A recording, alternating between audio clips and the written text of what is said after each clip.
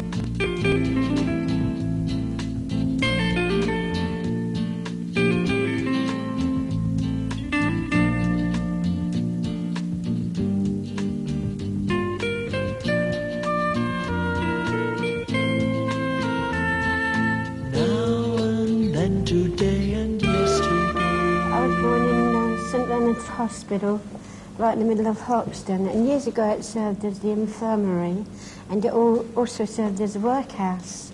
And uh, I went to school right opposite St Leonard's.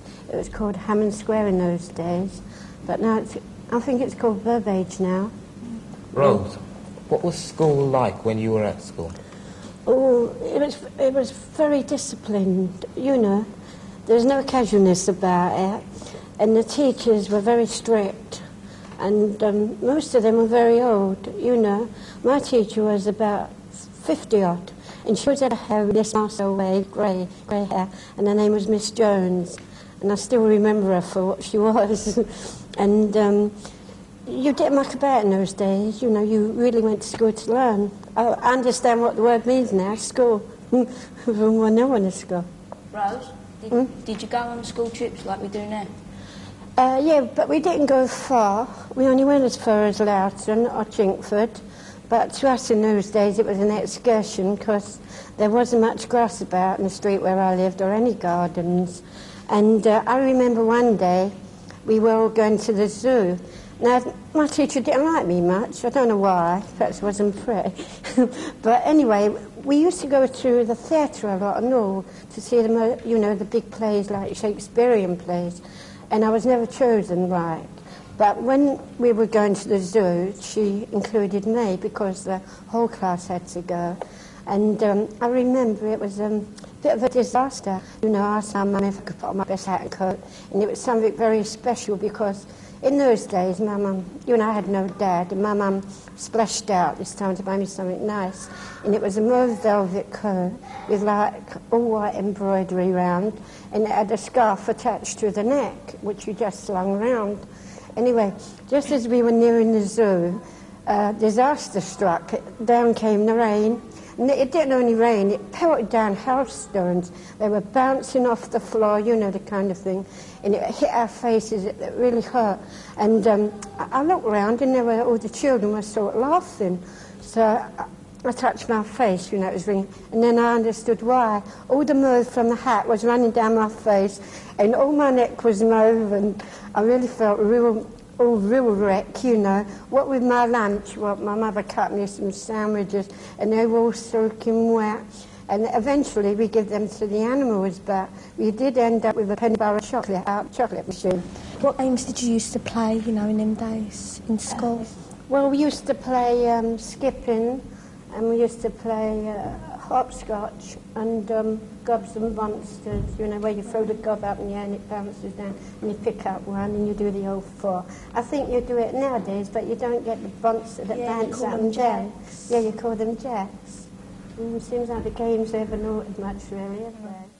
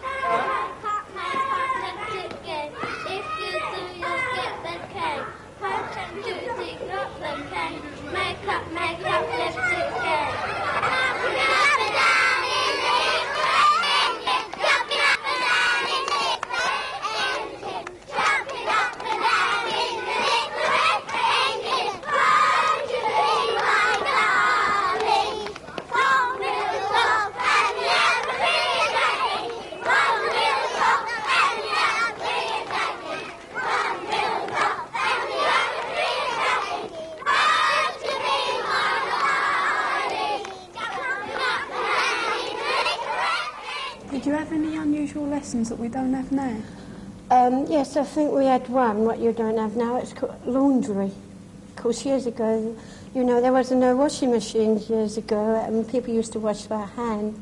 Like my mother used to take two big bundles of washing like that, come home from Saturday morning and take two big bundles like that to the washing baths, and she would fetch them home all ironed and dry.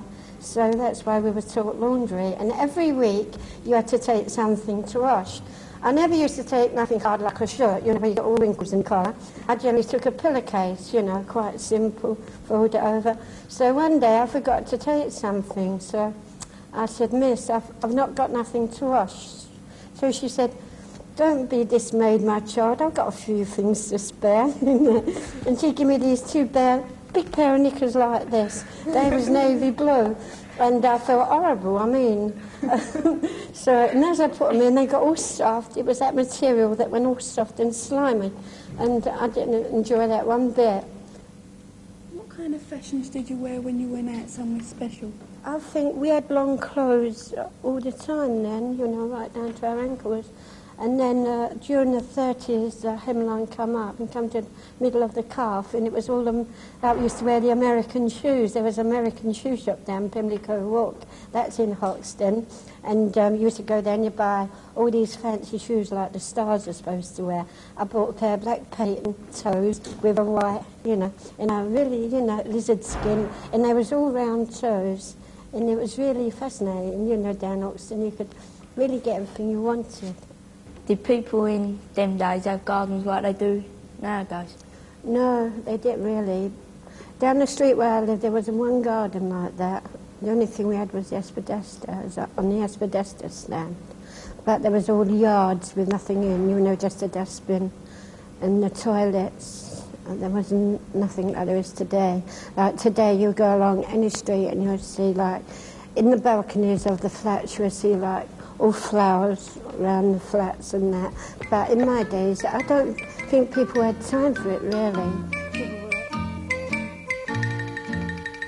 If you saw our little garden, what a pretty spot you'd cry. It's a picture of a sunny summer's day.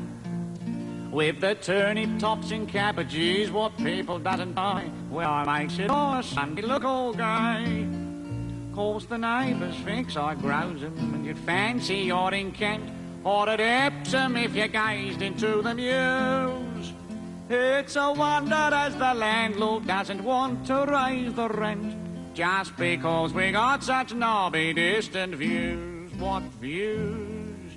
Cause it really is a very pretty garden. And Chiswick to the westward might be seen.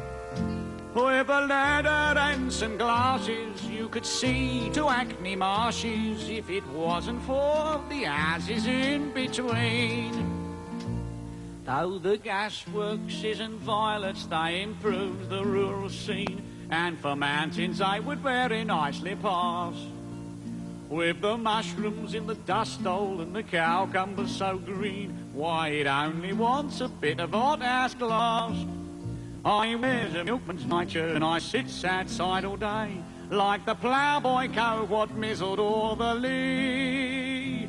And when I comes indoors at nights, they don't know what I says, cause me language gets as yokel as can be. Boozy. Course it really is a very pretty garden, and Hampstead to the northwards might be seen. If I had a rope and pulley, I'd enjoy the breeze more fully if it wasn't for the houses in between. We're as country fine as can be with a closed proprietary, and the mangle makes a rustic little style. Every time the blinking clock strikes, there's a cuckoo sings to me, and I've written up to Kentish Town one mile. The dust cup, though it seldom comes, is just like harvest home, and we mean to rig a dairy up summer.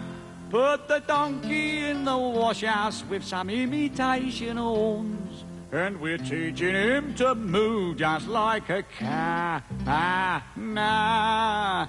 Cause it really is a very pretty garden. And Hackney to the eastwards might be seen.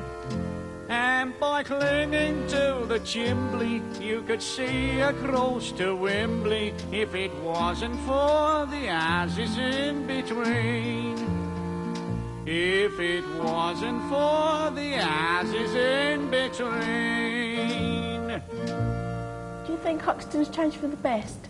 No, I don't. I think Hoxton has changed for the worse. I think uh, Hoxton's just, you know, liquidated. I don't think they want to put Hoxton back where it was years ago. Because, my, you know, no, you know uh, St Leonard's Hospital, in there Nurse Cavell practiced. You've heard of Nurse Cavell? Well, she practiced in St Leonard's Hospital. And then there was Dr Parkinson, you know, Parkinson's disease. He lived in number one Hoxton Square. And Marie Lloyd came from the back of Hoxton.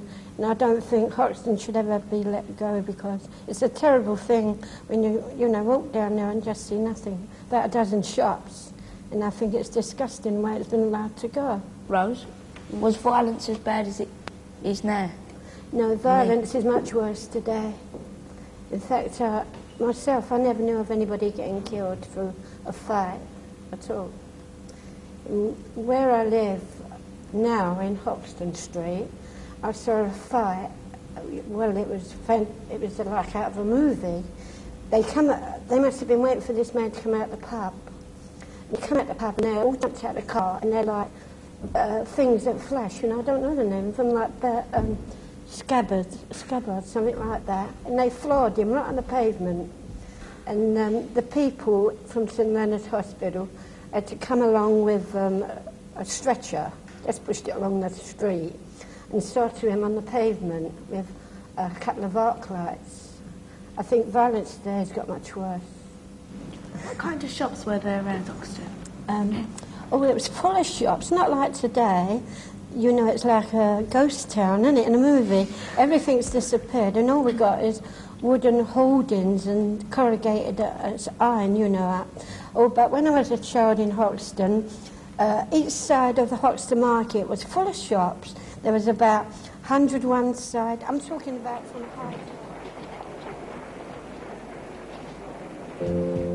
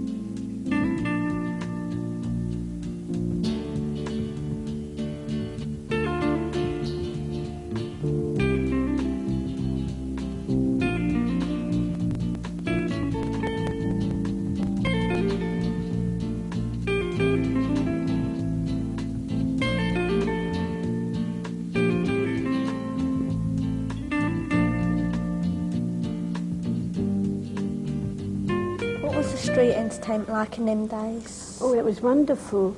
There used to be men dressed up as women, you know, with the big hats and long dresses, and they used to come down shouting their heads off, you know. You heard them from the, when they were down the bottom of the street. And we all used to sit on the curb, and they really used to go to town, you know, cocking their legs up in the air.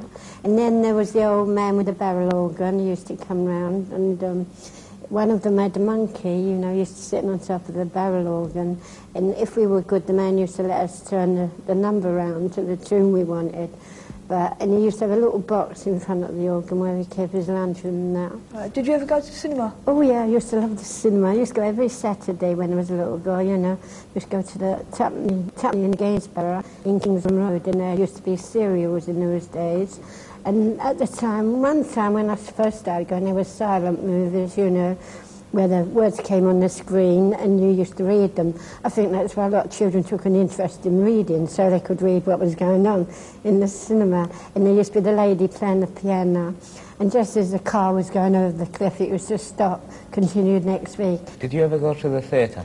Yes, I did. I used to see pantomimes at the Hackney Empire. They used to put on a pantomime every like year, and um, I used to come here when I was a little girl and see them, the stage turns, and um, there was the London musical. That was a very well-known musical, and I used to. I remember seeing Swanee River there, and there was all piccaninnies on the stage. You know, I always remember it because I was only about 14, but it was really a terrific revue.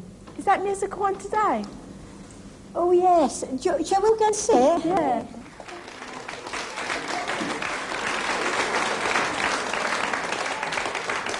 A pack of 52 completely ordinary cards. Dora, will you tell me the colour of the top card? Oh, cherry colour. Correct, thank you. And the colour of the next top card? Uh, cherry colour. Black cherries, black cherries, yes. Not only, not only the colour, but the name, suit, and value of the next card, please. The uh, three of diamonds. And the next one? The ace of spades. And the last? Uh, four of hearts. Fantastic. How does he do it? And now, Fedora, will you please read my mind and tell me the colour of this piece of silk? Uh, green. I can see you're not quite ready. Uh, green. Zadora is never wrong. I have on this card, I have on this card various numbers taken at random between 1 and 5,000. Uh, I must explain that Zadora is very susceptible to the influence of colour and this evening feels able to deal only with the large blue numbers and not the small red ones. I wonder, madam, would you point to one of the blue numbers, please? Thank you very much. In complete silence without a word being spoken, Zadora here will tell that young lady the number that she pointed to. Four. Is that correct? Thank you. We'll repeat that experiment. Would you point to one of the blue numbers, please? Thank you very much. Once more, in complete silence, will you tell that gentleman over there the number he pointed to? Two. Three. Thank you very much. There we are. Up to now, we have dealt with things that are here in this room at the present moment. In order to conclude this fantastic demonstration, we are going to step over the threshold into the future. Is there a single gentleman in... Yes, you. What's your first name, please? Peter. And your last name? Miller. Peter Miller. Zadora, will you please look into the future and tell this young man, Miss Peter Miller, the name of his future wife? Mrs. Peter Miller. Thank you.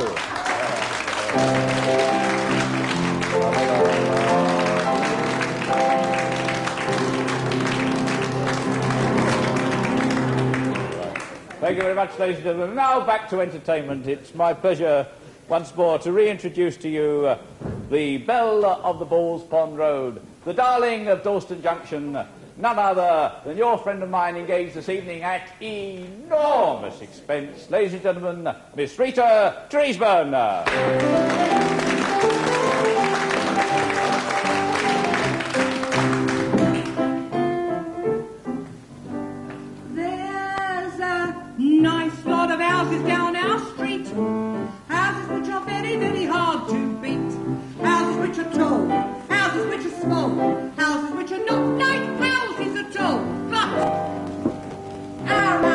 House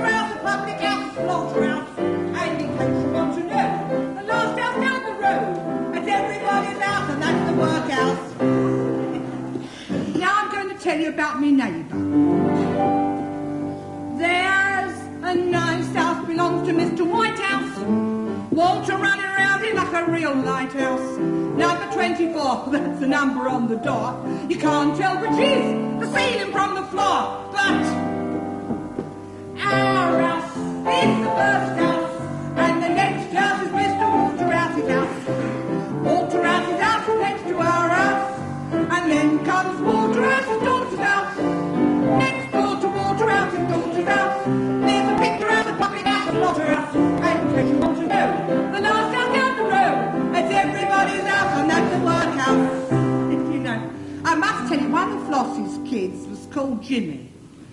Oh, he was a naught. It was a difficult child, Jimmy. Anyway, one day at the end of the term, it was near Christmas, the teacher said to them, Now, what we're going to do is we're going to have a concert. Anybody here could do anything? And Jimmy put his hand up. Now, that's the first time he put his hand up for four years. Well, she never even knew he had muscles in his arms. Yes, she was so surprised, and she said, Well, come on out here, dear, and let's see what you can do. So he came out, and she said, What are you going to do for us, Jimmy? And he said, um, I can, I can imitate a bird. Oh, she that's very clever. Let's hear you. So he put his hand in his back trousers pocket and he took out a little tin. He opened the tin and he took out a worm, a big wiggly worm, and he goes backwards like that, see? And he puts the worm in his mouth and until it was gone. Well, you see, there wasn't much of a reaction from all of them there. They were looking a bit horrified, so he took out another long, thin one, like wriggling away he was, wriggling about, and he went right back. Like, ugh. Done the same thing with that other one.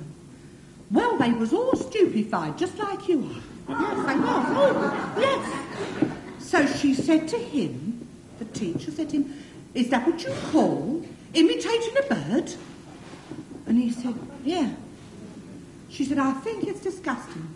I think that's absolutely disgusting, isn't it, children? Disgusting. Yeah. So anyway, so she said, We don't want any of that in the concert. Go away. So he still stood there. She said, I've just told you to go away. And he still stood there.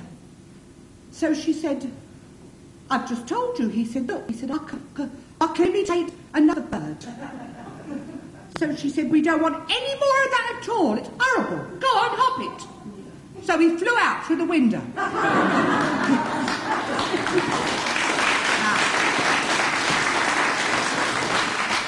Now I'm going to tell you about my landlord. When the landlord came for rent on rent day, you should have heard what all the neighbours had to say. Place full of strife. He ran for his life. White House chased him with a carving knife. Sorry, sir. But we're going a bit faster, Mr. Maestro, because I think some of them are a little bit tired, you see. We're waking up. Join me, please. Our house is the first house, and the next house is Mr. Waterhouse's house. Waterhouse's house is next to our house, and then comes Waterhouse's daughter's house. Next door to Waterhouse's daughter's house, there's a picture house, a public house, a slaughterhouse, and in case you want to know, the last is Now,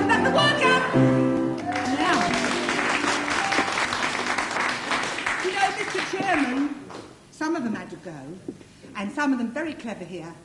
They sang the whole thing through their lips closed. That's very clever, isn't it? Well, this time we'll have it a bit slower, Mr. Maestro, and we'll do it with the actions, eh? Because you don't leave this hall until you've done the actions. Get your hands up. Come on, up. Up! Up! Hold 'em up, for goodness sake. Ready? All together, please, with feeling. House is the worst